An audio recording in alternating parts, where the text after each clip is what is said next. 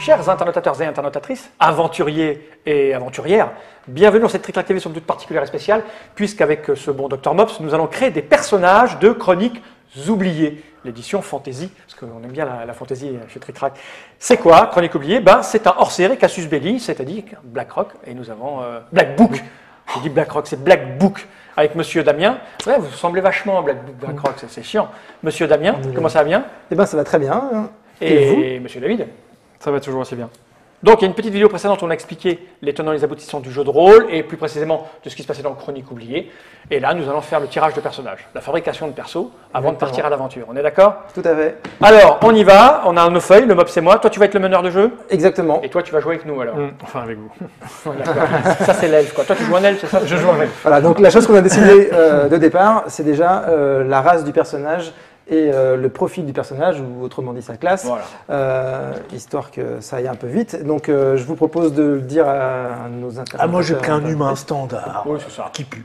Ok. Qui pue parce que son métier, c'est quoi Sa Il est classe. magot, il est magot. Il est magot. C'est un magot Un sale. magot qui pue. Un Un magot sale. cheveux gras. Moi je joue un nain, un nain prêtre. Tu vois, parce, que, parce que je suis victime d'excès de violence et il faut que je, je- je me fasse pardonner, donc j'expie mes. tu vois, euh, j'ai fracassé le crâne de bon nombre d'elfes et je, je m'en veux un peu parce qu'il y avait aussi des enfants dedans et, et c'est moche. Notamment Ah, peut-être l'enfant de ce, ce personnage. Donc, euh, oui, un, un haut elfe euh, barde, Voilà, un vagabond. euh. Oh, elfe, bah. Mais oui, bien sûr.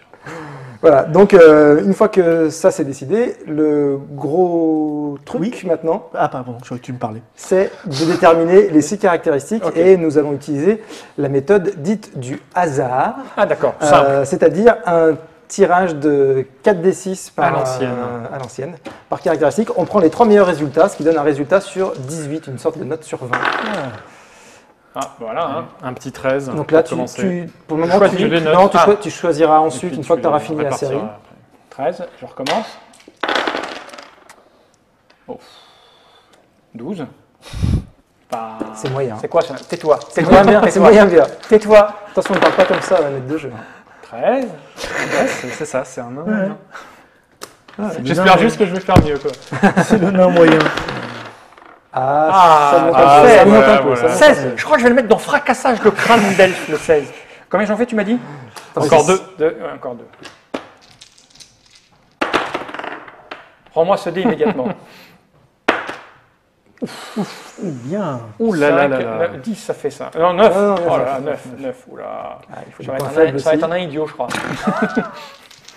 va. ça va. 9, euh, c'est euh, Le c'est- moyen moins, mais c'est pas, c'est pas Il y a très mieux. Oh là là Il y a là mieux. Oh, non. Le vilain Et un 10. Un 10 et un 10. Tu vois un personnage très moyen dans le bon sens du terme, avec Allez, un, ouais. un léger point fort. Et donc, je répartis ça dans mes valeurs. Exactement, sachant que toi, en tant que prêtre, la sagesse. euh, Ça commence mieux tout de suite pour là. Il est chaud. 15. Donc toi, la sagesse va être importante. Moi, le charisme, c'est neuf. la force. Non, non, 16, ça va être ma force. 14. Non, non, je, je suis pas un vrai prêtre en fait. Donc, je un vais faux mettre, je vais prêtre mettre- je- ouais, je suis un faux prêtre. Je vais mettre le Le 10 en intelligence. déjà. 9. Il y avait des indices quand même. 11. Il y a un peu de tout, hein. Ça a quand même bien commencé, mieux Ah, que, mieux que Fab. Ouais, mais tu vois, ça baisse. 7. Ouh là là, le 8. 8. Il y a un 8 qui est pas mal. hein. Ça faiblit, hein, ça faiblit. Ah, ça c'est. Ou un 17. Ou un Ce 17. qu'il faut savoir, c'est qu'il y a un tirage donc sec comme ça de, Un, de 6 deux, trois, caractéristiques, quatre, cinq, un seul un, deux, tirage. trois, C'est très dur d'avoir encore des une. très, des très forts scores. Et là, la série de Mops est exceptionnelle. Non, non, Ou pas. non. Le 10, Si, si, si, un petit 15, 10. 14, 17. euh, Oui, oui, il y ouais, a y mots. un Encore faut-il savoir bien le répartir. très beau score. Bon, maintenant, David va faire 18 partout euh, pour, ça. pour vous montrer. quoi. Arrête. bon, ça démarre pas très bien. 8 Non, il Non, était un 13, 6 là. 13, 13. Ouais. Si tu fais 13, J'aurais 12, voulu 13. commencer par un 18, quoi, histoire de, Ouais, de me montrer. euh, Voilà, quoi. Moi, Non, je lève. ça, Ah Eh ouais. là là là, un petit 12, ah, c'est c'est moyen. Si ça tu commence fais, comme les je gens. te préviens, si tu fais 13, 12, 13, 16, 9, 10, je te considère comme euh, ma femelle. 11. Ah non, non, Ah, je suis ah, moins bon que le nain, quoi. C'est pas possible. Allez, ressaisis-toi. Ah, mais Mojo. Non, mais ils ont pourri les dés là. Ouais, on pourrait les- Il y avait des dés magiques, là, je leur ai prêté, je leur ai prêté, et voilà, voilà ce qui arrive quand on prête les dés. Oh là là là là jamais là prêté ces dés. Non, mais c'est une catastrophe. Là, t'as 9 là. Oui, euh, Oh Heureusement, le 18 est là. Oh là là Oh, waouh 9 encore 9 Eh, encore. C'est un enfant Oui. C'est un enfant. c'est un enfant, ouais. Pour le moment, c'est un le peu des 18 est stats là. d'enfant. Le 18 est là. Il attendait. et- Ah, pas mal. Ah non, non, c'est. C'est. Pire que moi. C'est Alors le moi, je plus te vilain elfe que j'ai jamais Je fait. ne pars pas en aventure avec lui. Hein. Non, mais c'est bien, ça fera de les vivre. Donc les nains ont quand même un petit bonus. hein. Alors, il s'agit maintenant de répartir ces caractéristiques, Oui, sachant que pour chaque race, Eh oui, il y a un- petit modificateur Ah, bien qui sûr. fait du Ah oui, modificateur à côté. Nous allons commencer par l'elfe haut, qui a un bonus de plus 2 en charisme et un malus de moins 2 en force, Oh putain, je me prends avec un charisme à moins 5, moi, tu vois. et qui a aussi une petite capacité spéciale, donc on va le faire ça en même temps, à savoir lumière des étoiles. Le haut elfe peut voir très bien dans la pénombre, en fait. Ah bon comme si, Ah comme oui. Ça, c'est du super pouvoir. Moi, je Ça- pensais qu'il il- ça il- il se prenait souvent des claques qui mettaient plein d'étoiles autour de, Non, pas. L'humain, lui, il n'y a aucun changement sur ses caractéristiques. D'accord. Par contre, il a une capacité qui s'appelle instinct de survie, donc qui se note, qui se note ici, capacité raciale. Instinct de survie, C'est l'enfer. et donc lorsqu'une attaque devrait amener ton personnage à 0 point de vie, les dommages euh, qu'inflige cette attaque sont divisés par 2. D'accord. On te on redira le cas échéant si besoin. Et le nain a un bonus de plus 2 en constitution. Et Plus oui, deux le nain est robuste. Et il a un malus de moins 2 en dex, parce que quand même, Moins de. Putain, je suis à, je suis à, Les- je suis à 10. les mains Je note le résultat à côté là. 16, c'est ça 10, 15. On a Pas des, tout à fait, ouais, tu peux le noter là plutôt. nous Ah, avons des, caractéristiques spéciales en fonction de notre boulot ou, euh, Alors Oui. toi, euh, du coup, de, ton, ton intérêt, c'est d'avoir une forte l'intelligence. intelligence. ouais, ouais. c'est ça. Euh, Après, comment ça- ça, à côté après C'est évidemment, tu sais par ailleurs que la C'est constitution pour les malus quand euh, il va, va nous, te servir à tes points quand il va nous embêter. D'accord. Il Bon, va en fait, dire ouais, vous perdez deux points de T'as force. mis ton score direct là Moi j'ai mis mon score. Donc Ah, il c'est- faut que je fasse 14 ici. Ah, exactement. Et tu as aussi une capacité spéciale, euh, Ouais. Cherfal. Et là, je suis à 15. Ouais, qui est. Et donc cette capacité spéciale s'appelle vision dans le noir. Tu vois dans le noir total. Oui, mais t'as là. pas, il a pas, il a pas les étoiles, lui. hein. Moi je dis Vision c'est triché. Vision dans le noir. Ah, dans le noir, c'est pas nocturne. Ah ouais, c'est que dans le noir total, tu vois euh, à peu près jusqu'à 30 mètres. 30 mètres. environ. Ok. Et donc maintenant, une fois que vous avez choisi toutes vos valeurs de caractéristiques, Voilà. donc ça c'est une valeur, c'est la note sur 20, ça permet vraiment de, de voir euh, les points forts et les points faibles de son personnage. Et après, ces valeurs correspondent à un modificateur, et c'est ce modificateur qu'on va utiliser, vous savez, pour le jet du D20, D'accord. pour tous les tests. Et donc, euh, si vous- ce qu'on va faire, Je c'est crois que que j'ai la plus vilaine avec 8, non? Ah, Moi, j'ai j'ai Peut-être. 9 en charisme. J'ai 15. Moi, j'ai 8 en charisme. Ah, t'es plus laid que moi. Putain. Il a dit qu'il puait. Il n'est pas forcément laid, mais par contre, il Ouais. pue certainement. Moi, je suis laid, mais j'ai pas d'odeur. Alors, ce que, ce que chacun va faire, c'est me donner euh, ses valeurs. Et Alors, je vais j'ai lui donc donner les 11 de force. Donc 11 de force, ça correspond à un bonus, de, un modificateur de 0. Plus ou moins 0 Euh, plus ou moins. Puisque je suis rigolo Dextérité, 14. Plus 2. Ça, c'est mieux, ça. Constitution, 15. C'est plus 2 également. Je crois qu'il est. il est- il- Intelligence, 17. Plus Oh la 3. vache. Quel personnage Et Sagesse, compris- 10. 0. Il a compris que cela avait servi à rien. Et charisme, 8. Moins 1. Mm. Et toi, Fal? Alors en force, j'ai 16. Ça, ça te fait un plus 3 en force. Donc tu le notes dans modificateur. Ici, plus 3. Exactement. Ah, je suis fort et je suis encore plus fort, donc j'ai 19 du coup. Non, non, non. Ah le bon. plus 3, c'est celui que tu vas utiliser quand tu Ah vas ouais, faire alors, ton jet de Alors ça, c'est enlevé de là alors. C'est la valeur que tu vas ajouter Ok. à ton jet de dés. En hein. dextérité, j'ai 14. 14, donc c'est plus 2. En constitution, j'ai 15. Plus 2. En intelligence, j'ai 10. 0. Ok. En sagesse, j'ai 13. Plus 1. Et en charisme, j'ai 9. C'est moins 1. Voilà, David. On lui, est une bande de lait. Oui, alors je me retrouve avec un bon 7 en force avec un moins 2, 11 en dex avec 0, 11 en concite avec 0, 12 en int avec 1, 9 en sagesse avec moins 1 et 15 en charisme. avec Allez, le mec, c'est le mec qui est juste beau. Ouais, c'est ça. Il a juste la classe. Il embrouille juste les Ah, gens. c'est, c'est Eh, va parler à l'aubergiste. C'est toi qui vas parler. Euh, donc, euh, du coup, il y a. à faire disons, les, les valeurs qui, qui sont indiquées là sur la droite de la feuille des personnages, Ici, là. hein. à savoir les valeurs de combat et de vitalité. Mhm. Euh, donc pour les valeurs de combat, Mhm. il faut additionner euh, votre, euh, la caractéristique qui est Force. indiquée voilà, Donc force. euh, à votre niveau. Donc vous êtes des personnages débutants, niveau 1. Donc on met, on un calcul tout simple. Donc c'est le 16. modificateur. hein. non, alors c'est toujours le modificateur qu'on utilise quasiment. Donc là, tu vas mettre le modificateur de force, c'est-à-dire plus 3. Ah, c'est plus 3. Voilà. Ça. Donc j'ai plus 3 et 1 Voilà, et pour un total de 4. de 4. Et distance, donc c'est dex, donc c'est 2. Voilà. Plus 1, 3. Et magique, tu, tu n'es pas magicien, donc tu mets rien. Magique, il n'y a rien. Et initiative, c'est la dextérité, donc j'ai 2. Et là, c'est la valeur, donc Alors là, 14. c'est indiqué, c'est la valeur, exactement. 14, mais il n'y a pas de niveau. donc non, non, il n'y a 14. rien d'autre. Ok. Bon, on ne le voit pas très bien à la caméra parce que c'est écrit en tout fin en fait. Voilà. Il faut que je me trouve un dieu au moins. hein. Ça se met, ouais. Euh, Il va s'appeler Axe. Alors la magie, c'est quoi hein? Alors la magie, pour toi, vu que tu es magicien, c'est ton intelligence. En fait, ça dépend euh, du type de magicien que tu es. Pardon, tu es prêtre, tu as de Oui, la magie. modificateur. C'est ta sagesse. Ah, On d'accord. prend le modificateur toujours, hein, là, ici. J'ai- hein. Tu 13 as donc. un, tu as un. Niveau 1, donc je suis à 14. Non, non, tu as un. Ah, j'ai en- un, oui, excuse-moi. Ah ouais. En fait, si tu veux, les valeurs, c'est vraiment la note globale pour imaginer son Ah, personnage. Donc je suis à 2. Ça sert de temps en temps par ailleurs, mais en général, c'est toujours les modificateurs qui servent. Ok. Donc une fois que tout ça est fait, il reste à déterminer euh, les, il y a à déterminer les points de vie, et donc les points de vie, ça dépend de La votre, constitution. de votre euh, constitution ainsi que de votre profil. Donc euh, le prêtre, par exemple, il possède donc euh, de départ 8 points de vie plus son modificateur de constitution. 8, plus, je suis à 10. Voilà. Alors c'est point de vie. C'est Point de dé de vie. vie. Point de vie. Le dé de vie, c'est D8. Je suis un D8. Et des- Là, tu peux mettre D8. Ça, c'est quand tu augmentes de niveau. Ah oui. Euh, Le magot. le magicien, lui, Humain. c'est- son dé de vie, c'est un D4. Mhm. Donc il a 4 points de vie plus sa constitution. Et il a été suffisamment malin pour pas- mettre une bonne constitution. Ça fait pas beaucoup quand même. Hein. Ah, tu es une sacrée équipe. là. Dire. Magicien, c'est un dur On les métier. appelait les, rébou- les, les, comment on appelle, les, les, les piniclés?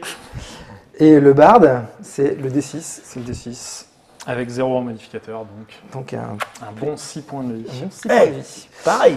Donc 15 avant de passer à- au score de défense qui va dépendre de votre équipement, on va déjà s'occuper donc euh, des capacités de vos personnages parce que Ok. celle-ci peut avoir une influence aussi sur les, sur les autres scores et sur tout ça. Donc euh, on va faire ça euh, dans un ordre précis mais aléatoire. Et pendant que tu cherches, j'explique En commençant aux, par Mops. aux gens qui nous regardent, ça chez vous, vous le faites une fois. Ouais, une ouais. fois que c'est fait, on refait plus son tirage de perso. hein. On Sauf si le personnage meurt. Sauf, sauf- sauf Eh si oui, on meurt. oui. On peut faire ça. euh, voilà. Sauf si Ah non, le, personnage va durer euh, longtemps, de progresser, etc. Euh, donc le, chaque personnage va, va choisir en fait deux capacités spéciales qui sont euh, elles-mêmes, qui appartiennent elles-mêmes à des voix, sorte de- d'arbres de talent en fait. Euh, donc euh, que je vais te décrire, Mops, et parmi lesquels euh, tu devras donc en choisir deux.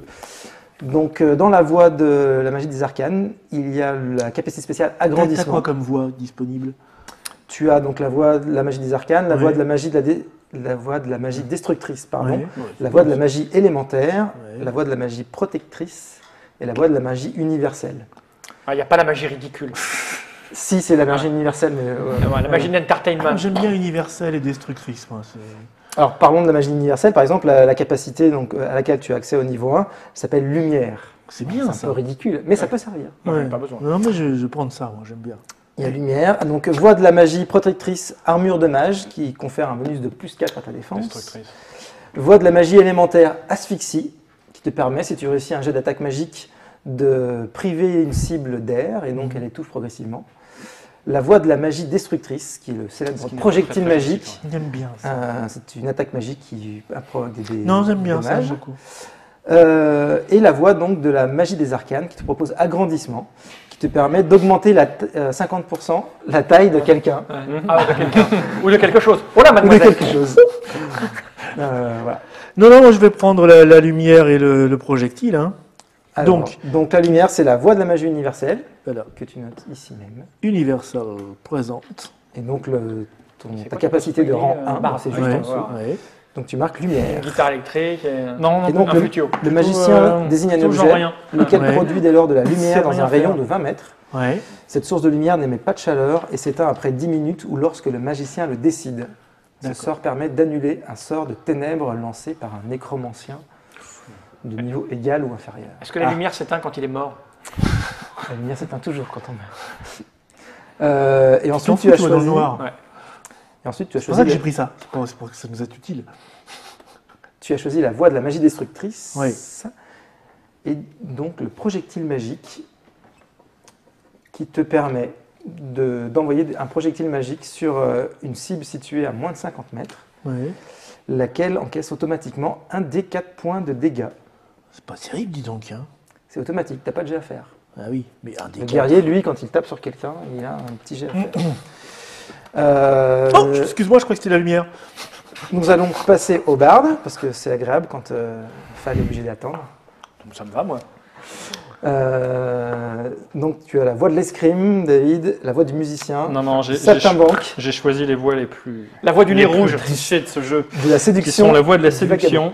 Histoire, euh, vu que je suis vraiment une buse, de me sortir de certaines situations donc, euh, qui me donnent plus d'eux en charisme. Mhm. Euh, quand je séduis, je baratine ou je mens. Si, tu ne me tapes pas, je te promets une Que je petite te donnerai gâterie. Plein d'or. Et Vagabond, la voix du vagabond, donc euh, pour avoir des bonus. euh, C'est un elfe punk à chien. Excellent, ça. Et pour avoir des bonus pour se souvenir des informations historiques, politiques, géographiques ou occultes. Autant dire qu'en combat, je vais être un tueur. J'ai un dossier je vous sur toi, nécromant. c'est clair. Hein? Rappelle-toi. Et donc le prêtre. Le prêtre, ah ouais, moi je. euh, Par- parlons des choses importantes. Parax. Donc la voix de la foi, la voix de la guerre sainte, la voix de la prière, la voix des soins ou la voix de la spiritualité. Alors je te dis plus précisément de quoi il s'agit. La voix de la foi, donc c'est parole divine qui te permet euh, picoler jusqu'à plus d'obtenir un bonus de plus 2 à tes tests de charisme visant à convaincre ou convertir ton auditoire. C'est nul, c'est un truc de. Ouais, c'est bon. Euh, ce qu'il faut savoir, c'est qu'évidemment, ces voix se déclinent et que, euh, et que permettent. Enfin, bon, bref, ça ne t'intéresse pas. Euh, voix de la guerre sainte, arme bénie, le prêtre bénit son arme sacrée. Ça, ça me plaît beaucoup. S'il obtient un résultat de 1, de 1 pardon, sur son dé de dommage, il relance le dé et garde le second résultat. Ça me plaît bien, ça. J'ai j'ai droit à combien de voix À deux 2. Il y a donc la voix de la prière, c'est bénédiction. Le prêtre entonne un chant pour encourager ses compagnons euh, qui sont situés à la vue.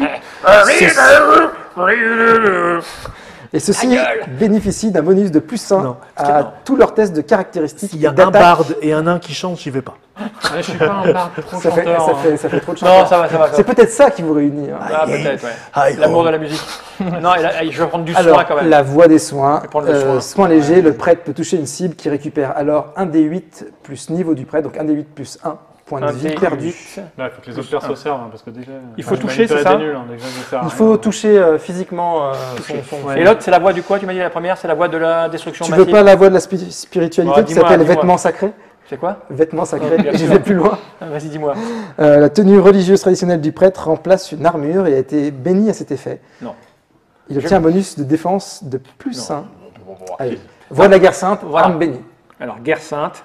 Ça s'appelle arme bénie et tu relances ton dé de dommage quand tu fais 1 sur le dé. Euh, si je fais 1 au dé, je relance.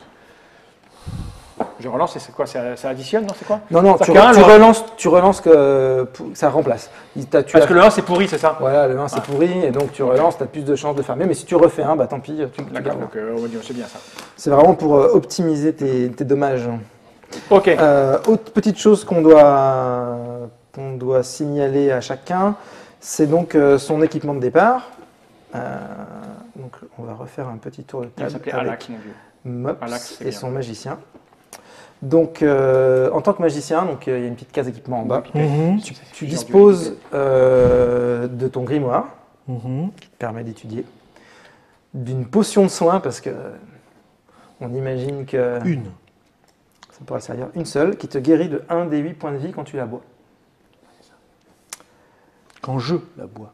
On a entendu, hein. ou quand tu la fais boire à quelqu'un d'autre. Et donc tu possèdes quand même des armes. Peut-être que tu, vas, tu ne vas pas t'en servir, mais tu peux. Donc un bâton, Le fameux bâton de magicien. voilà, qui inflige 1 D6 de dommages. Donc c'est DM, Mhm. 1 D6 et plus ta force. Mais donc toi c'est plus 0, donc euh, ça ne fait rien. Et tu as aussi également une dague à, ton- Ouais. à ta ceinture qui inflige 1 des 4 de dommages. On a le droit de te. Trop de te- fort. Tu remarqueras donc que tu n'as pas d'armure, Voilà, moi j'ai plein de dieux, moi. donc tu n'as aucune armure, aucun bouclier. Tu bénéficies donc à ta défense que de ta dé- ton modificateur de dextérité, savoir plus de, pour une défense non totale de 12. 12. Donc pour te toucher, un adversaire doit faire 12 ou plus sur son jet d'attaque. Bah, vu ce qu'ils font, ça devrait, ça devrait pas me toucher, les autres. là. Ah, non. Ah, ça c'est pas bon. Ah, touché. Ah, touché. Oh. Le personnage de David, lui, possède une rapière qui fait un critique sur un 19 ou un 20. Hmm, intéressant. Euh, un coup critique. Et euh, possède une dague, un instrument de musique, évidemment, et une armure de cuir. Et quant à toi, prêtre de la religion de, De Alax de Alax. ou euh, rallélépipède. J'ai plusieurs dieux. Ce qui me permet de courir en faisant parallélépipède, parallaxe. L'elfe va regretter notre troupe.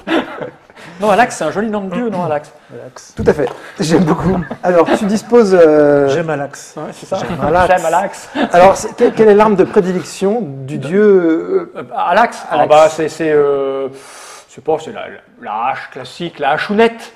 la, la hachounette Mmh. Alors, tu disposes d'une Le hachounette. coton-tige. La hachounette. une hachounette euh, qui inflige donc dommage, c'est DM, la protection DM, 1 des 6 points de dommage, plus ton modificateur de force. Qui est de plus 3. Voilà, C'est plus 3 comme ça exactement. Ok. Spécial, c'est mon truc que j'ai un lancer de dés spécial. Elle est bénite Oui, non, spécial, ça peut être par exemple euh, la rapière qui fait un critique sur les d'accord. 20. Tu possèdes aussi un petit bouclier, donc là on est dans la défense, donc Mhm. tu remarqueras qu'il y a armure et bouclier, donc tu as un petit, Petit. petit bouclier qui fait un bonus, qui procure un bonus de plus 1. Euh, Tu, le mets, tu le mets dans la même case. Plus 1. Et en armure, tu possèdes une chemise de maille, Tricoté par ma mère. Un exactement, tutu. qui confère un bonus de plus 4. Plus 4 en défense. Et donc tu, tu notes ton, ton modificateur de dextérité également. Il est oui, c'est donc c'est 2. Et tu fais le total, 10 Dans- plus tout le reste. 10 plus 4, 14 plus 1, 15, 16, 17. Voilà. Et donc euh, tu es quand même très difficile à toucher. Eh oui. Un nain en armure Parallaxe. est un nain en armure. Alax me protège. Quand je vois ce score-là, je suis fier de toi. Ouais, good. Donc il y a beaucoup les nains.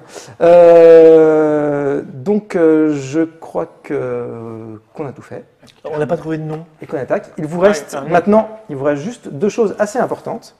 La première qui ne dépend pas de vous, c'est que euh, celle que je vais vous expliquer moi, c'est-à-dire que vos personnages pour le pour l'aventure l'aventure qui est en temps limité, donc se connaissent tous, sont amis. Euh, Certains le croient. voilà. Parce que ce qu'il ne sait pas, c'est qu'on va au marché des elfes le vendre. Et ce qu'il faut absolument, c'est que vous choisissiez un nom de personnage et que vous imaginiez à quoi il ressemble, c'est-à-dire euh, qu'est-ce que les autres, enfin qu'est-ce qu'un autre personnage va le voir euh, physiquement. Ah non, euh, Moi, on me sent avant de me voir, en général. hein. voilà. Donc quand je dis euh, hein, tu vas le voir, c'est tous les sens euh, possibles et imaginables. Donc une fois que tout ça est fait, je vous invite à ne pas décrire le personnage pour le tout de moment. suite. On Ah, fera dans sera- le, début de ce la partie. sera- le début de la partie. Voilà, Alors attends, on de cherche un nom. C'est que c'est quoi comme dé? Euh, C'est un D20 plus 5. Tiens, fais-le.